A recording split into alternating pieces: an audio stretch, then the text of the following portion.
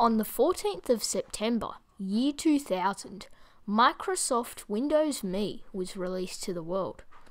20 years later, on September 14th, 2020, marks its 20 year anniversary.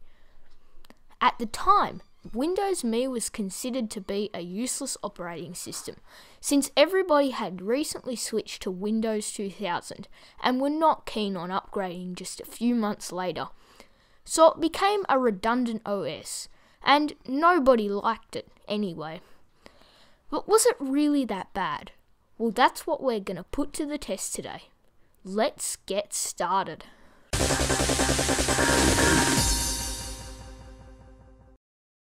I'm going to be using my Compaq Armada 110 featuring a Pentium 3 running at 800 MHz. This is a good computer to put Windows Me on, and it was actually designed to run Windows Me too, as you can see from the little Microsoft sticker down here. You may recognise this little Compaq as being the one I restored a little while ago on my channel, and you would be correct, this is indeed that same Compaq. It's a really cool little laptop, and I think it's really good for this, since it was actually designed to work with Windows Me. I think a good starting point would be to power up the laptop to see if it even still works. So let's go ahead and do that now. There we go. Pressing the power switch. And what do you know? It actually fires up. That's really cool.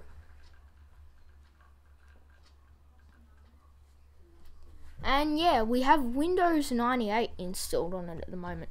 But we're going to change that and install Windows Me.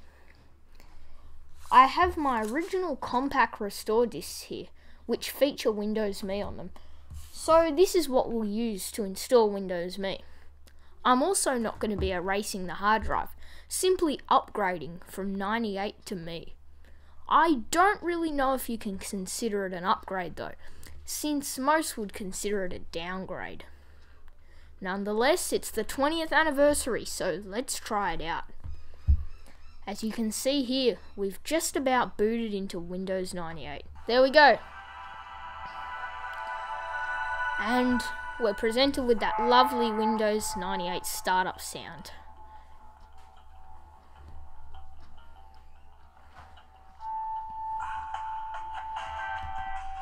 That's awesome. Anyway, we're going to go ahead and close that and move on with the install. Windows Me came with two discs, Disk 1 and Disk 2. My Compaq discs are specifically two discs, but I don't know about the full OEM release. That could potentially just be one disc.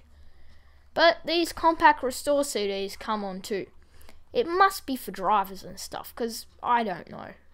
But yeah, who knows, maybe there really were two CDs in every Windows Me installation. It's a big annoyance to have two CDs, since you basically can't leave the computer unattended, since it could ask you for the next CD at any point in time. Nonetheless, let's go ahead and put the CDs in now. I'm going to start with disc 1 here. So I'll just take it out of the little CD case. And then we can go ahead and put it in the Compaq's CD drive. Just like that. I don't know how much of a quick restore this will be, since it basically needs to install the OS. But anyway, let's try it out.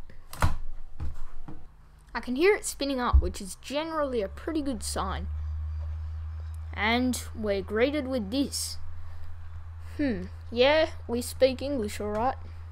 To restore the operating system and all Compaq pre-installed software, your hard drive, exit this program and then restart the computer. Alright, so it looks like we need to do a restart if we want to install Windows Me. So let's go ahead and perform that now. And there we go. We're now booted into the setup for Windows Me. Let's go ahead and click next. System recovery CD restores stuff. Yep, we're, we're gonna restore it. Neat. Yep, we're connected to the AC power adapter. We couldn't not be. Oh no! Your operating system language is not supported by the C CD. Um, that's a bit weird. Alright, now we're in a DOS prompt. Maybe it's conflicting with Windows 98 since it's a DOS operating system and Windows Me is not DOS. So let's try and format the C drive. So format and then C and we're going to use the slash Q parameter here. This basically just means quick. So yeah, let's just do a quick format of the C drive. And look at that, see, with quick formatting enabled, it makes it so much faster. And we'll just enter a volume label. And there we go. And we're back. Alright, so first of all, we're prompted with this manual to select our language. We're going to use English in this case. Hopefully it works this time. I mean, I don't see any reason why it shouldn't, you know? We've already formatted the hard drive. So there's really nothing to go back to. And what do you know? It seems to be working. It must have been that it didn't want to upgrade to me from Windows 98. Maybe it's a sign. Who knows? Now we just click next. Since we have our AC adapter plugged in, we're going to format and restore. And yep, that looks all good. Uh-huh. Yep, we really do want to format the already empty C drive. There we go. Uh, making petitions. And what do you know? Formatting C. This is going to take a while. And would you look at that? We're just about done. 100! There you go. Back to 99 for writing out the allocation table. And before you know it, boom, we're on to restoring the operating system. Restoring the OS seems to be taking a while, but it doesn't seem to be taking as long as formatting the hard drive, so hopefully it'll go by pretty quick. Alright, so now it is asking for CD2. Add exactly 50% too, which I think is really cool. So let's go ahead and grab that now. Disk 2 is going in. And then we just press OK and 50% and counting. And what do you know? We're at 98%. The restore CD is finished. And yeah, then we'll just click OK. And now it's time for a reboot. Um, press the enter key to continue. Yep. Oh wow, I love that little drum symbol. It's the software is being installed, more like the bloatware. Though I don't recall this computer's OEM discs having much bloatware on them from when I installed Windows 98 last. As a matter of fact, I've never actually used Windows Me before. We're greeted to this lovely stretched Compaq logo also. That's funny. Now we have to go through the sequence of it installing all the drivers and stuff. And what do you know? We get the Windows Me. Huh. wow. Windows Media Player, Net Solutions for Business. Oh. Software is being installed. Again. Gosh, when are we going to get to use Windows Me? Again, with our lovely stretched Compaq logo. And it looks like it's installed the display driver. Oh! Would you look at this? A lovely startup screen. I've never seen this on Windows before. Oh. what?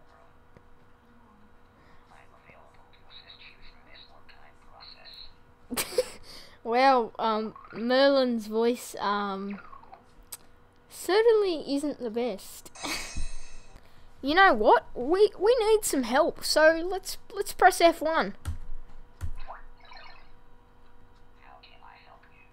Oh, ah, gosh. Tell me what to do next.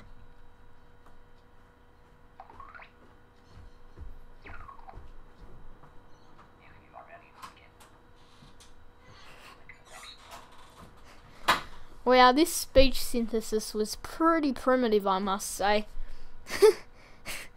Gosh, we've come a long way. This must have been around the time when they were boasting Clippy or whatever. We need some help, Merlin. Um, tell me who, tell me who to call for assistance. Let's, because I don't know how to verify my settings. So let's see who I can call for assistance. Oh. Well, um, that that's that's very helpful, Merlin. Let's just go ahead and restart. Wow, this is um this is some real primitive stuff we're dealing with right here. I mean, gosh, we sure have come a long way. That's all I'll say. And we're back in Windows Me. Yes, I accept Microsoft's agreement, and I have totally read all of this fine print. Yeah. No, I don't want to register. You have to register enough to Microsoft. Gosh. Oh, well. Oh. Oh, well, um, Merlin. Well, wait, no. Click finish. Oh, and the cursor's not working again. First impressions of Windows Me overall, um, it's alright, yeah, whatever. Anyway, let's click finish and are we going to be finally greeted to the desktop? I suppose Microsoft were really trying to push to home users at the time and they were trying to cater to them and make it as easy as possible to do stuff. I suppose it was all about similarities too. People didn't necessarily know how to add more RAM, for example, but if you had an assistant telling you like that, I suppose it makes it easier. Anyway, it appears as though our beautiful installation of Windows Me is finished. Let's see what games we get. Ooh, pinball. Yes. Alright. So we get some space pinball on this thing, alright? Wait, what are the controls? Ooh, Windows Media Player. What's this?